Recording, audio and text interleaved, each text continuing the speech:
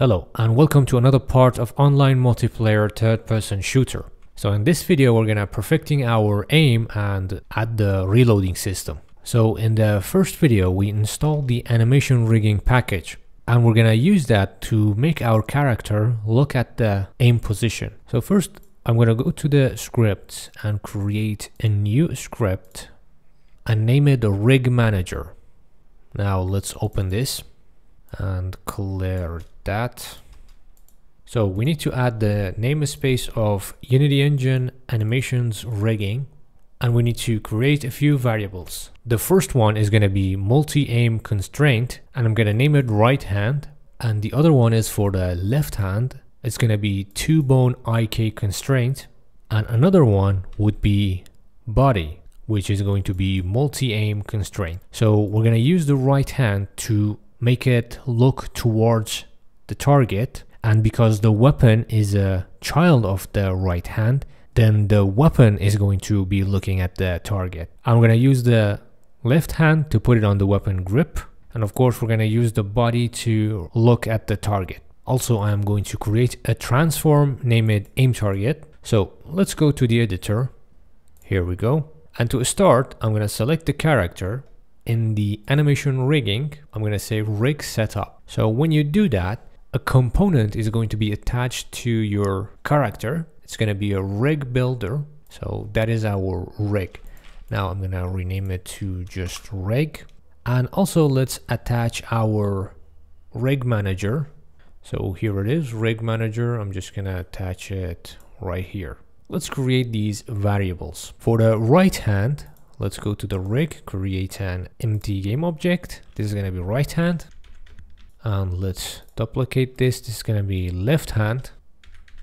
And we need another one for the body. Let's start with the right hand. I'm going to attach a multi-aim constraint. So let's do that. So the constrained object is going to be right hand. So let's go ahead and expand the skeleton and find the right hand of our character it should be here under the right shoulder that's it. That's our right hand. So I'm gonna assign that. And for the source object, we need a target. So let's go ahead and create another empty game object here and just name it target. So if I go to the right hand, I'm gonna use target. So we also need to assign the values of forward and up axis of our right hand. So if I select the right hand and go to the scene here, if I go to the local, you see that the forward of my right hand is this green arrow, but reversed. So this is Y, so the forward is gonna be minus Y. So let's do that. Aim axis is gonna be minus Y. And if I select the right hand again, the up axis is gonna be the blue one, but it's also going to be reversed. So that is Z and that is going to be minus Z. So let's select minus Z. By the way, these values are going to be different for different characters. Now for the body, I'm going to also attach a multi-aim constraint. And for the body, let's do the chest. I'm gonna rotate the chest towards the target. And for the source object, we're also going to assign the target. So both chest and right hand are going to be looking at this target. We're going to set the position of this target in the scripts. For the body, we chose chest. And if I take a look at the chest, the forward is going to be Z and the up is going to be Y. So Z and Y. So I don't need to change that. Now for the left hand, I'm going to attach two bone IK constraint. So for the tip, I'm going to choose the left hand so let's do that. Here is the right shoulder. So we're going to go to the left shoulder. And the hand is going to be the tip. And I can just simply right click here and choose auto setup from tip. So it's going to automatically assign those values. So we don't need to change any settings, but there's two transforms has been created here automatically. I'm just going to select both of them and drag them under the right hand here.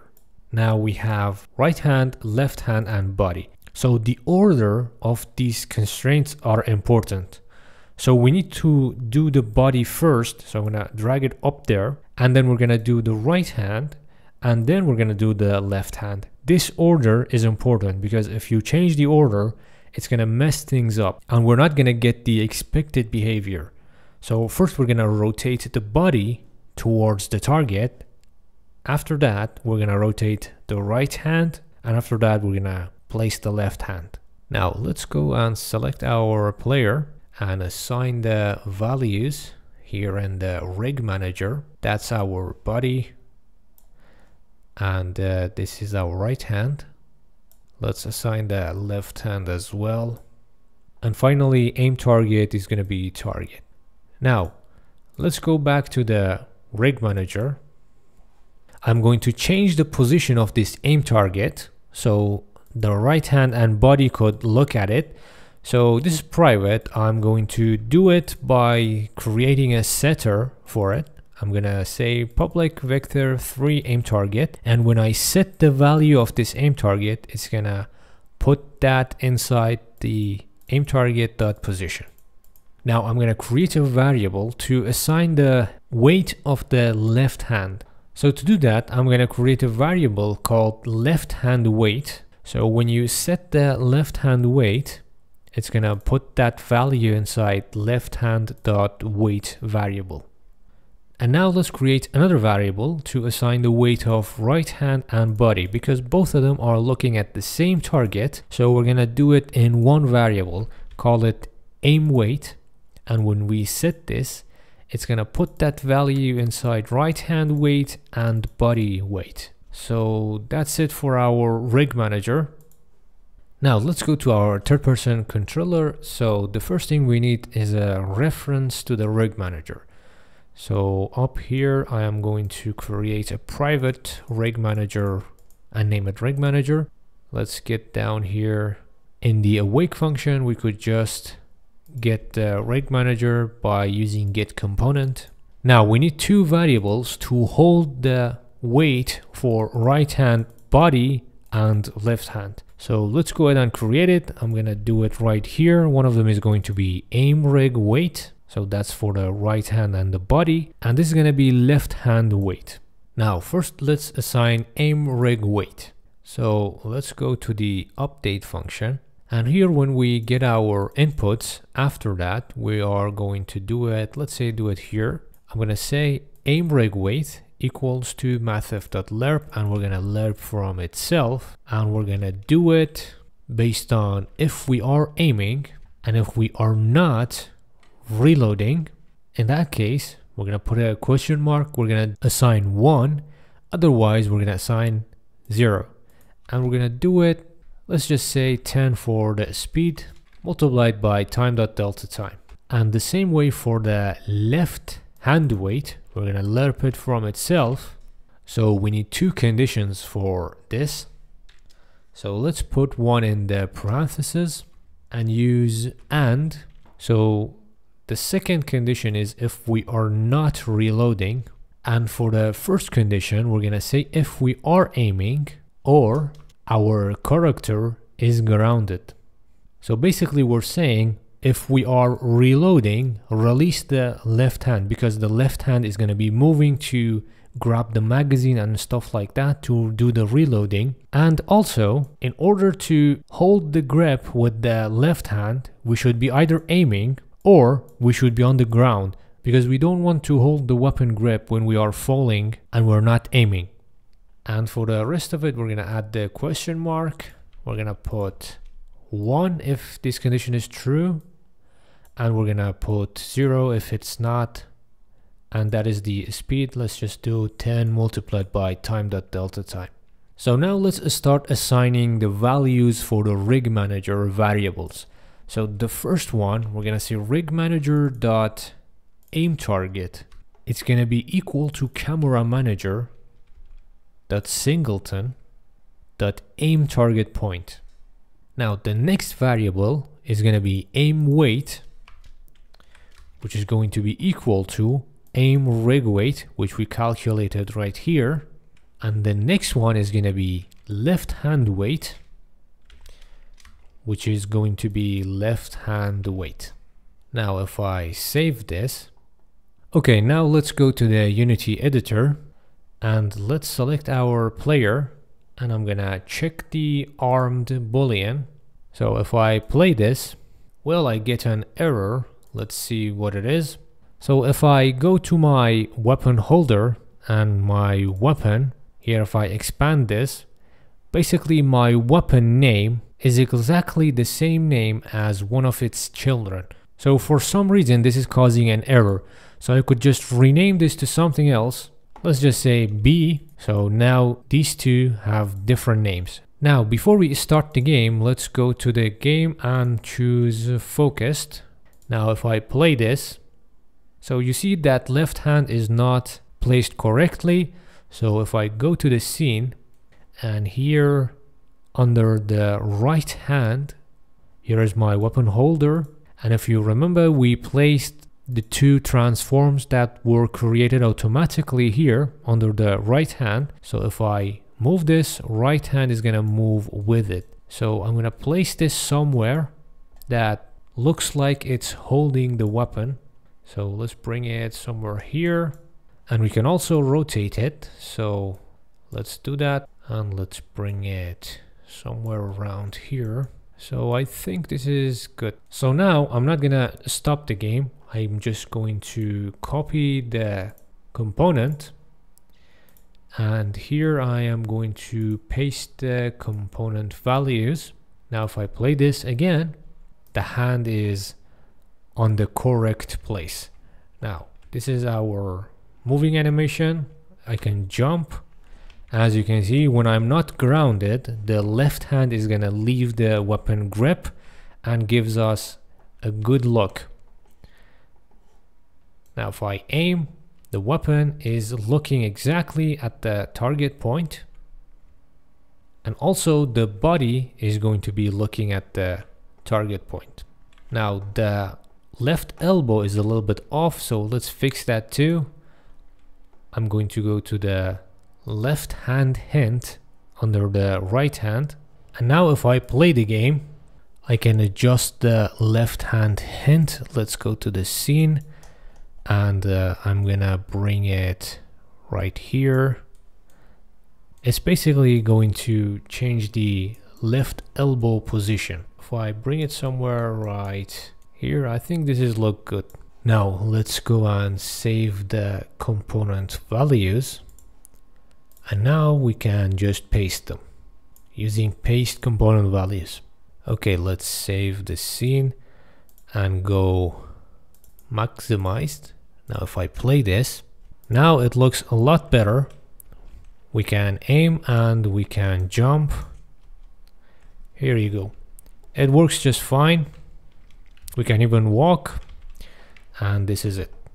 Now as you can see when we aim the body is not exactly looking at the target. So there's a fix for that. Let me stop this.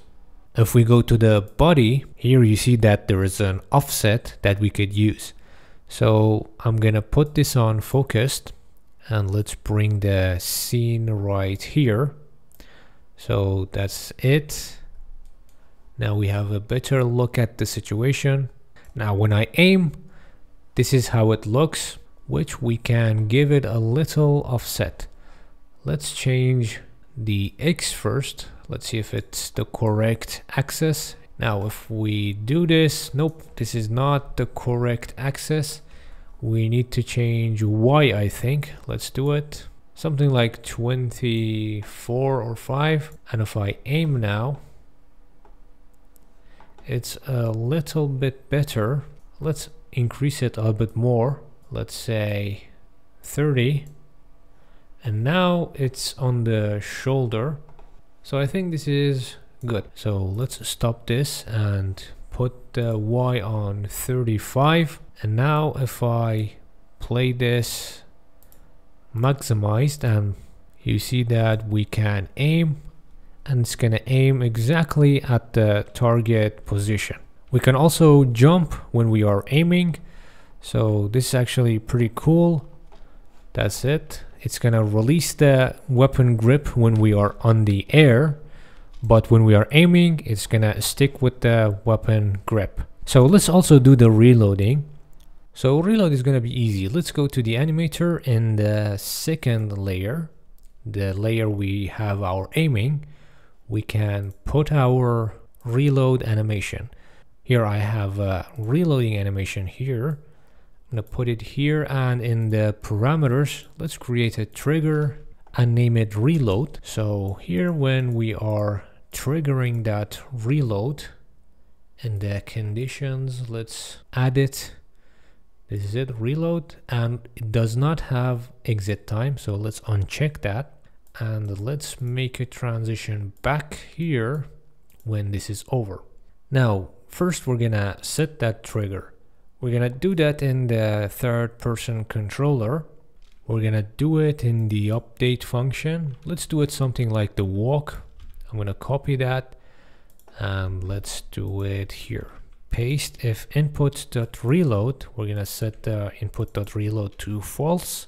And instead of this, I am going to say animator set trigger reload. So this is also going to set the reloading to true and now we need a way to set the reloading back to false when the reloading is over. So to do that, let's create a function here, reload finished. So we need to call this function from somewhere.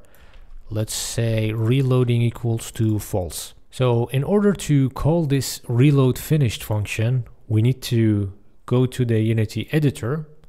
Let's go to the script and here I am going to create a new script and I'm gonna name it reload state machine.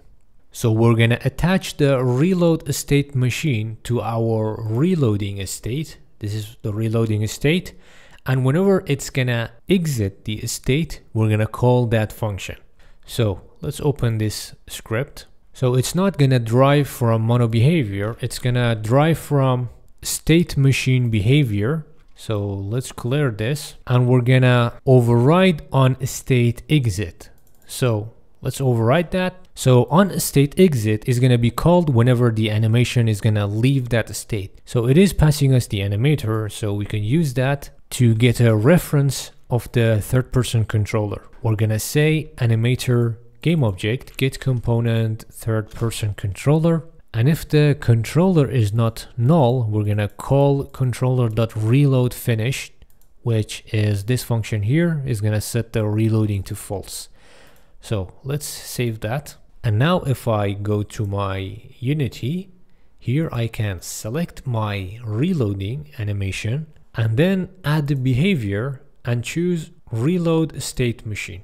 So that's the reload state machine. I'm gonna attach that so now if I play the game and hit the reload button, you see that it's gonna reload and that's it. So we could even reload when we are aiming. Here it is. It's gonna play the reload animation. So while we are here, I don't like this sensitivity when we are aiming. So let's fix that. Let's go to the third person controller and here let's find camera rotation. This is it. This is camera rotation. So our input look is here. We could simply just multiply this by a sensitivity. If we go to the camera manager, I think we already created a variable for default sensitivity and aiming sensitivity. Now I'm going to create a sensitivity variable. Here it is, public float sensitivity. And when we get this, we're gonna check if we are aiming and if we are we're gonna return the aiming sensitivity. Otherwise we're gonna return default sensitivity. So we could use that to multiply it in our input look. Multiplied by camera manager dot singleton dot sensitivity and the same thing for our y. That should take care of it we should now have different camera sensitivity when we are aiming and when we are not aiming. So now if I play this, I have one sensitivity now and when I aim, I have a different sensitivity. So this is it for this video. I hope you enjoyed it. And if you had any questions, feel free to ask me. Also make sure to like and subscribe and uh, thanks for watching.